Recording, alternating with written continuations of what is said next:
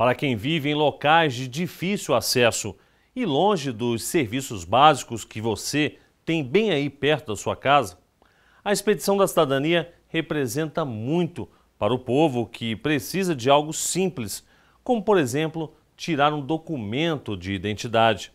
Mas isso só parece simples, porque sem ele você não existe como cidadão.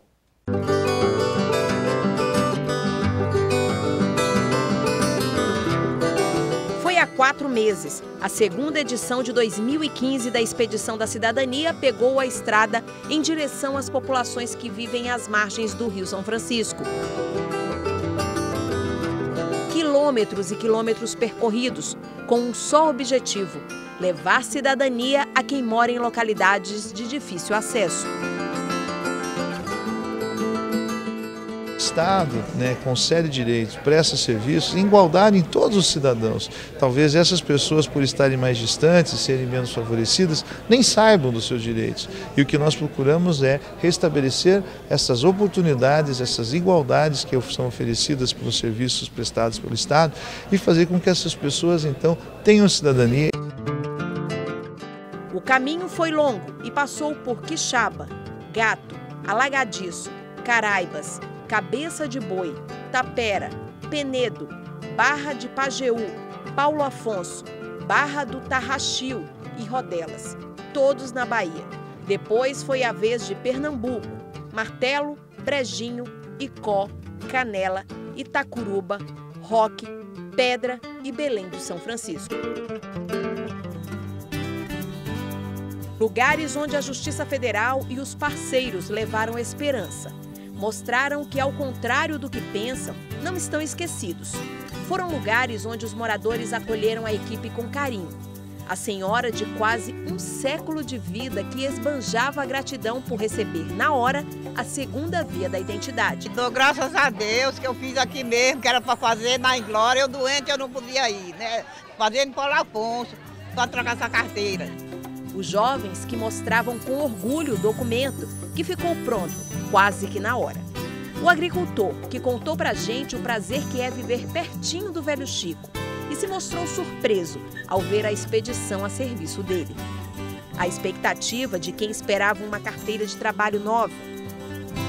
Nós, seu título, não, não existe. Não é cidadão, né? Não é cidadão. O empenho garantiu aos jovens o direito ao voto e mostrou o quanto esse pequeno papel é importante para um cidadão.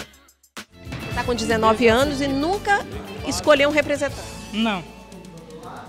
Sabe a importância desse papel, Raimundo? Pai, não sei ainda não, só vou saber depois de votar, né? Olha a responsabilidade, Jairo. É grande, viu? É um grande documento. Teve ainda palestra sobre saúde previdenciária.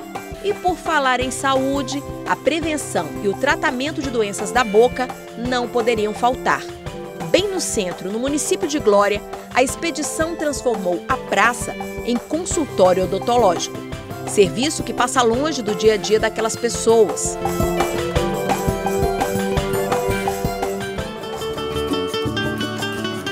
A expedição da cidadania foi o remédio que faltava para o alívio das dores de muita gente.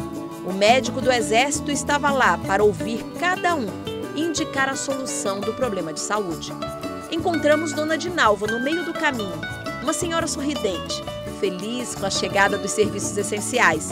Um otimismo que não tinha tamanho ao ver o médico bem pertinho dela. Ainda mais um médico tão novinho, mas cheio de experiência para dividir com quem mais precisa. Amei. Tranquilo, ele? Tranquilo. Atende muito bem, um amor de pessoa.